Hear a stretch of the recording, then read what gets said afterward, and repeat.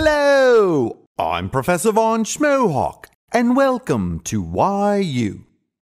In the previous lecture, we saw that although rational functions may have any number of vertical asymptotes,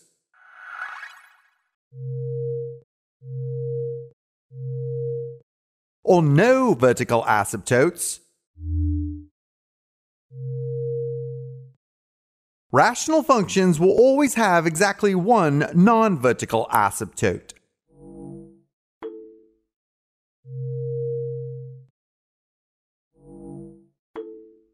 Unlike vertical asymptotes, which occur at x values where the function's denominator approaches zero, causing the function's value to grow without bounds in the positive or negative direction,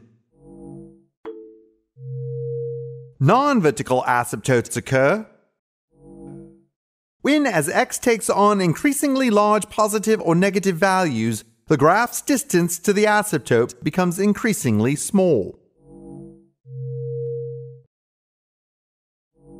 As we saw in the previous lecture, non-vertical asymptotes can be horizontal, oblique, or curvilinear. In that lecture, we saw how to determine the vertical position of a horizontal asymptote. In this lecture, we will show how to determine the shape and position of oblique asymptotes and curvilinear asymptotes. In the previous lecture, we saw that sketching a horizontal asymptote is simple since we only need to determine the vertical position of a horizontal line. Horizontal asymptotes are therefore described by constant functions.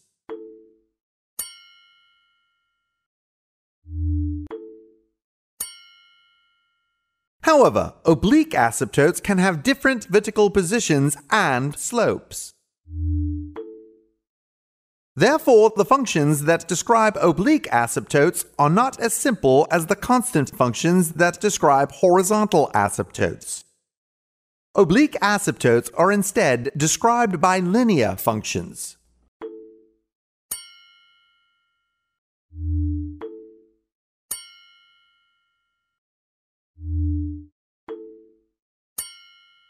Since linear functions have an implied exponent of 1,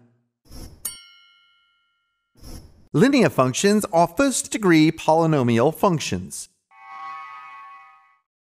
On the other hand, curvilinear asymptotes, which come in a variety of shapes, are described by higher-order polynomial functions. For example, curvilinear asymptotes that are parabolic are described by second degree polynomial functions.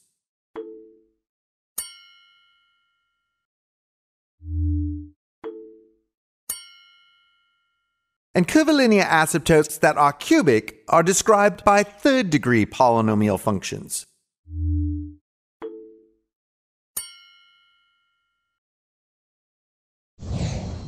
In the previous lecture, we saw that given any rational function, the first step in determining its non-vertical asymptote is to examine the numerator and denominator's leading terms.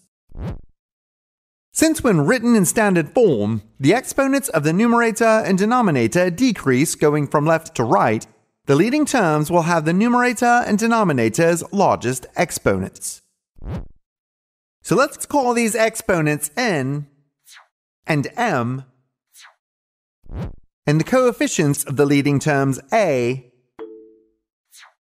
and b. In the previous lecture, we saw that when the value of the numerator's largest exponent n is less than the denominator's largest exponent m, the function will have a horizontal asymptote located on the x-axis. And when the values of the numerator and denominator's largest exponents are the same,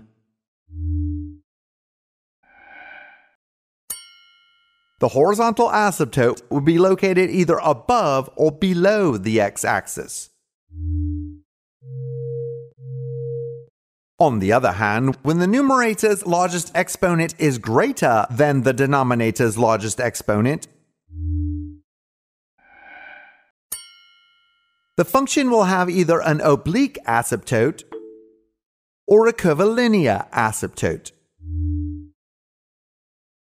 The difference between n and m determines the degree of the curve that describes that asymptote.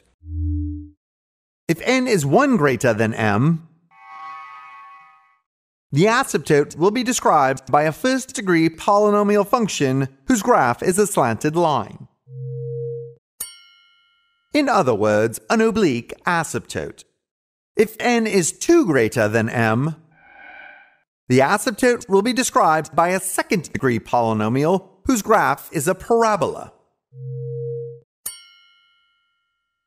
If n is 3 greater, the asymptote will be described by a third degree polynomial whose graph is a cubic curve, and so on. As an example, let's consider the rational function x squared plus 1 over 2x. The leading terms of this function are x squared and 2x. Since the numerator's leading term has an exponent of 2, and the denominator's leading term has an implied exponent of 1, the numerator exponent is 1 greater than the denominator exponent, and so this asymptote is described by a first degree polynomial function, in other words, a slanted line. We therefore know that this function has an oblique asymptote, although we have not determined the slope and position of this asymptote.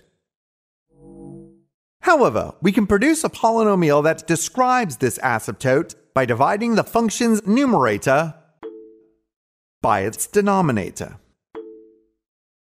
Dividing one polynomial by another can always be accomplished using polynomial long division, as we saw in WhyU Algebra Chapter 90, Dividing Polynomials. For instance, in this example, x squared plus 1 is divided by 2x. And the result of this division is x over 2 plus 1 over 2x.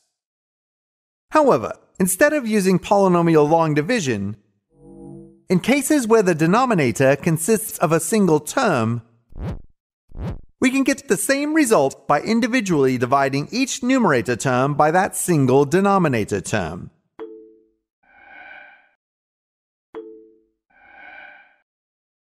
In this example, the x squared over 2x term can then be simplified by eliminating the identical factor of x in the numerator and denominator which gives us the same result as polynomial long division. Although this result is not in the familiar form of a rational function, it is an equivalent description of the function x squared plus 1 over 2x, whose graph looks like this.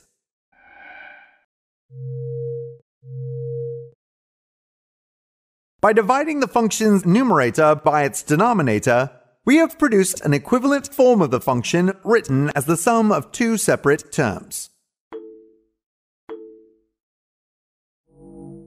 Graphing the second term, 1 over 2x, we see that this term's value approaches 0 for large values of x. And so, as x values become large, this term's contribution to the function's value becomes small. On the other hand, graphing the first term, x over 2,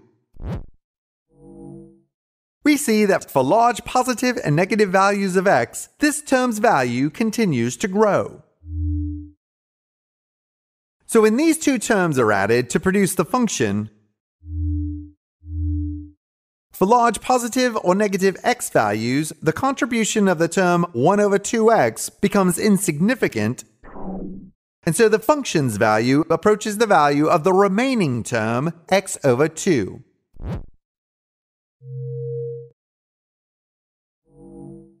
Therefore, x over 2 is the function's oblique asymptote.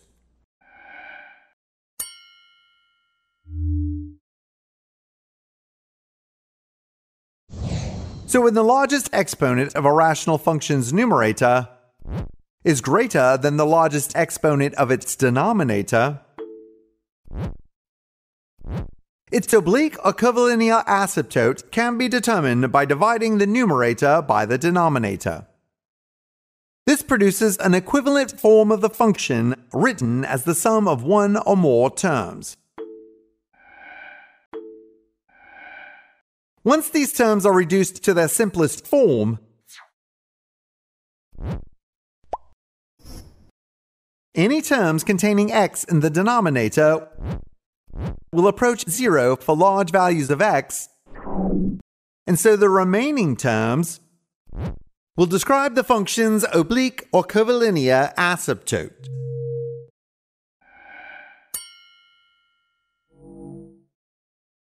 So let's do one more example like this, calculating the oblique asymptote for the function x squared minus x plus 1 over x. The leading terms of this function are x squared and x. Since the numerator's leading term has an exponent of 2, and the denominator's leading term has an implied exponent of 1, the numerator exponent is 1 greater than the denominator exponent. This function therefore has an oblique asymptote described by a first degree polynomial. As we have seen, a polynomial that describes this asymptote can be determined using polynomial long division. However, since in this example the denominator consists of a single term, it is simpler to individually divide each numerator term by that single denominator term.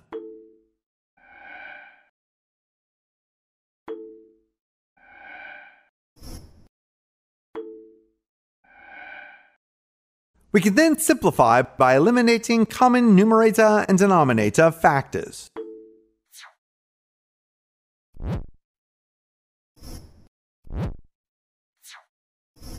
This gives us two equivalent forms of this rational function whose graph looks like this.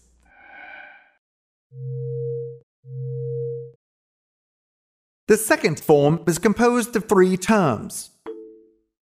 Since the term 1 over x approaches 0 for large x values, the function's graph approaches the values of the remaining terms for large positive and negative values of x. And so x minus 1 is the first degree polynomial that describes this function's oblique asymptote.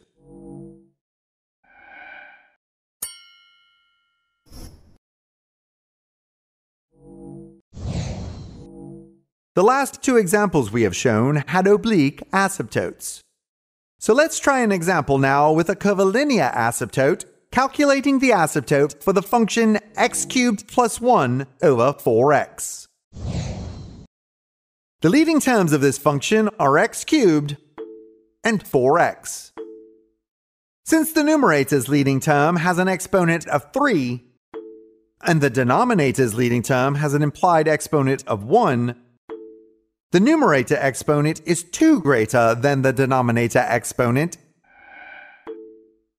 and so this function has a curvilinear asymptote described by a second degree polynomial, in other words, a parabola.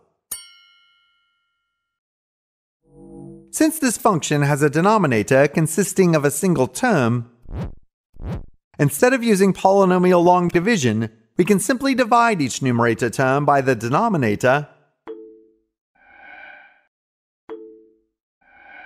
and then simplify the result by eliminating common numerator and denominator factors.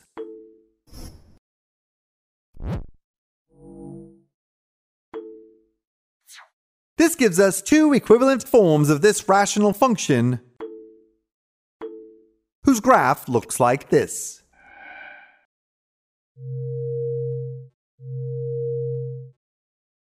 Since the value of the term 1 over 4x approaches 0 for large x values, The function's graph approaches the value of the remaining term, x squared over 4, for large positive and negative values of x. And so x squared over 4 is the second degree polynomial that describes this function's parabolic asymptote.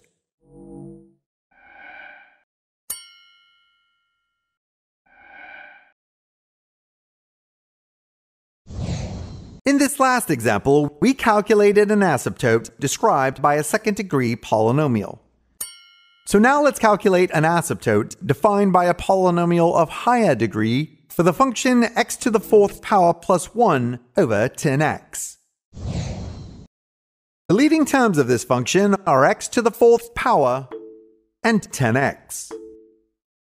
Since the numerator's leading term has an exponent of 4, and the denominator's leading term has an implied exponent of 1, the numerator exponent is 3 greater than the denominator exponent. And so this function has a curvilinear asymptote described by a third degree cubic polynomial. Since this function's denominator consists of a single term, we will divide each numerator term by the denominator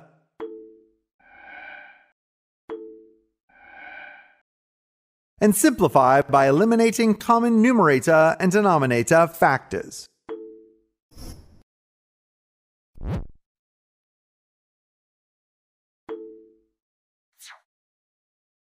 This gives us two equivalent forms of this rational function whose graph looks like this.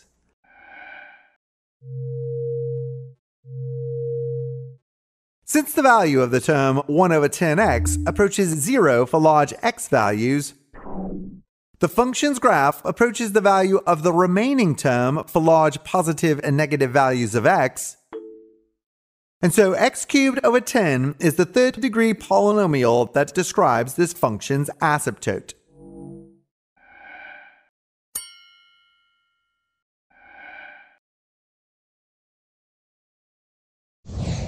For our final example, we will determine the non-vertical asymptote for the rational function x to the fourth power minus 8x squared plus 4 over 2x squared plus 2. The leading terms of this function are x to the fourth power and 2x squared. Since the numerator's leading term has an exponent of 4, and the denominator's leading term has an exponent of 2, the numerator exponent is 2 greater than the denominator exponent, and so this function has a curvilinear asymptote described by a second degree polynomial, otherwise known as a parabola. Unlike the previous examples, this rational function's denominator consists of more than one term. Therefore, we must use polynomial long division, as we saw in WhyU Algebra Chapter 90, Dividing Polynomials, to divide the function's numerator by its denominator. And the result of this division is x squared over 2 minus 9 halves plus 13 over 2x squared plus 2.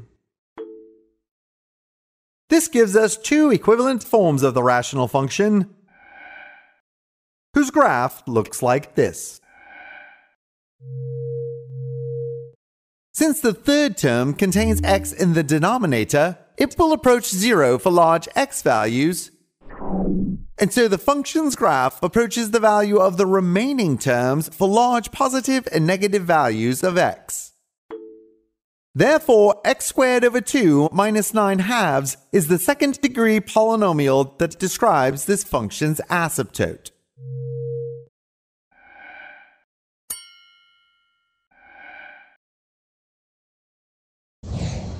In the last several lectures, we have explored polynomial functions and rational functions.